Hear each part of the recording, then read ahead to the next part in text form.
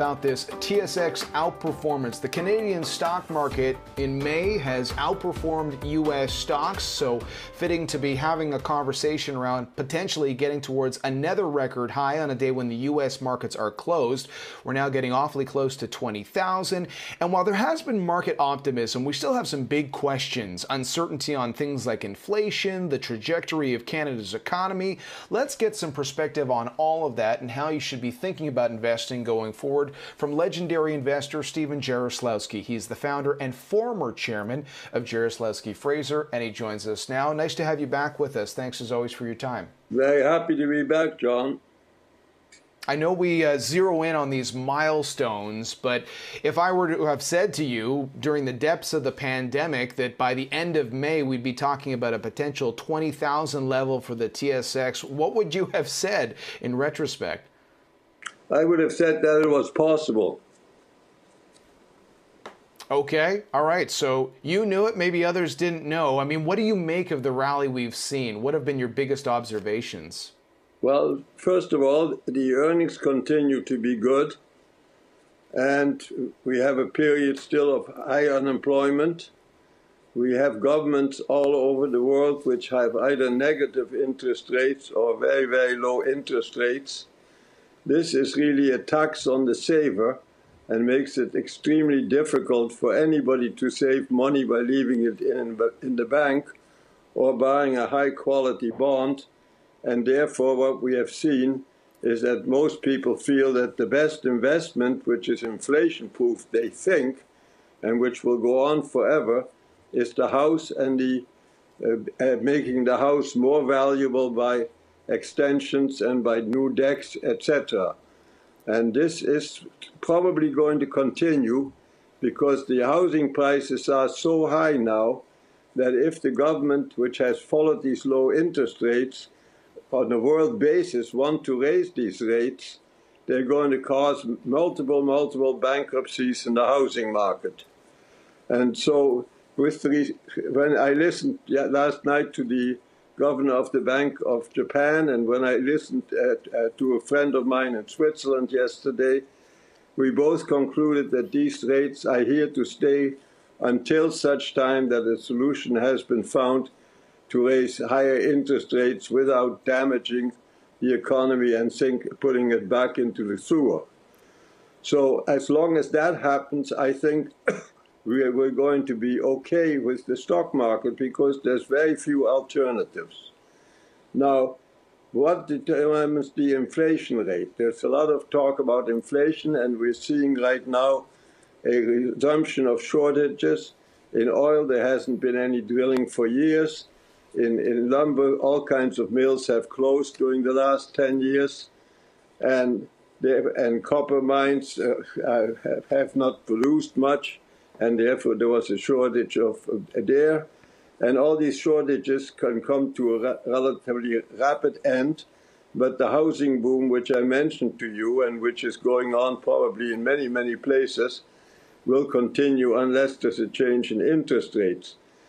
At, at the same time, as long as we have free trade with Bangladesh, Vietnam, and China, it is very difficult for me to visualize that Canadian wages are going to go way up because that would be hmm. uh, the only reason why I would think that the inflation is going to last beyond the time that people come to their senses and that this housing boom is going to deflate or, uh, or uh, stop in its tracks.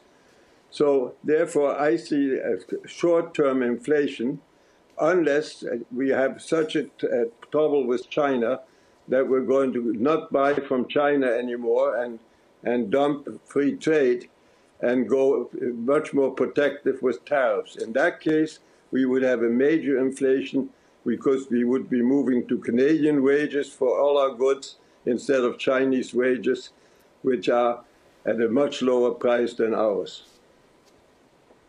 So you talked about the nature of global trade and how that impacts the inflation or, or perhaps keeps a lid on some of it. You talked about, you know, that that so-called TINA, there is no alternative, moving investors into the stock market, but also into the housing market. Listening to everything you said, Stephen, um, at a time when there's been a growing uh, chorus of people who feel that the Bank of Canada will raise interest rates next year, I didn't get a sense that you're feeling all that confident that they will move higher on interest rates anytime soon. Can I just get you to clarify that?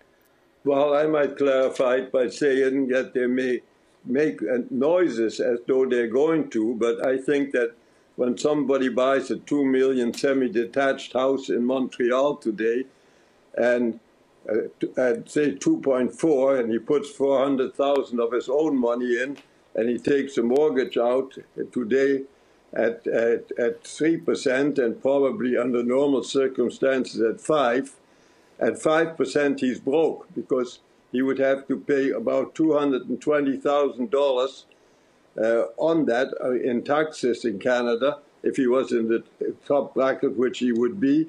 And then on top of that, he would have a $20,000 uh, municipal tax on top, which is also worth 40 million. So he would have to earn 240 million before he even ate and prices in, in, in, in, many cases, and we've certainly seen it in the housing market, gaining steam. I think uh, some people uh, have so called FOMO, fear of missing out. Others have worries about things like the B word bubble. Um, given everything, um, how would you go about investing right now? Would you look at you know sectors like the oil sector that you made a reference to or would you you know join those moving into the housing market? What do you think is the best way to go when it comes to using your money for investing? Well short term i would say that in high tech and speculative growth stocks there, there could very well be a collapse at some point because that has been bought by the gamblers. On the other hand there are a number of industries which are quite low in the States, the defense industry is perfectly adequate. In, in Canada, health, and in the US also, I would say that most of the big healthcare stocks are at reasonable prices. I would say that the oil stocks are, can, in Canada can still go up materially because I think that all the oil nations have discovered that they make more money if the price goes up and that also will also uh, make for the substitution of oil uh, have a much faster uh, driveway ahead than it would otherwise if oil prices stayed very low. So those industries are still cheap. And then there are a whole bunch in an average category that I could also mention.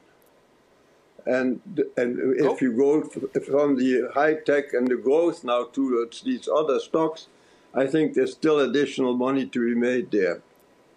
Now, as far as investment is concerned, I've never been overly interested in the daily stock market because I always like to buy in a panic. And in my case, I've been a great saver and therefore I didn't have very much outflow. But I always kept 10% in cash or equivalent and in high times would build it up maybe to 20 so that I would have 10% to invest in, in, in the panics. And that philosophy, if I buy the best stocks in the world, mainly non-cyclical, in, in industries that would lend itself to this, like consumer durables, like uh, utilities, and there's, there's a whole slew of other stocks of this kind in the, in the liquor business, in uh, non-cyclicals for the most part. Aviation business, probably the defense business is another one in which you would find this kind of stocks. Uh, and, and you just buy the best in the world, but only from countries which have no dictatorship and which have the rule of law, you would probably receive a 7% or 8% growth in this and also a growth in dividends because I'm a dividend investor. And what I like to see is that my dividend income goes up by, say, 7 or 8% a year with these stocks, well diversified in probably 50 or 60 stocks.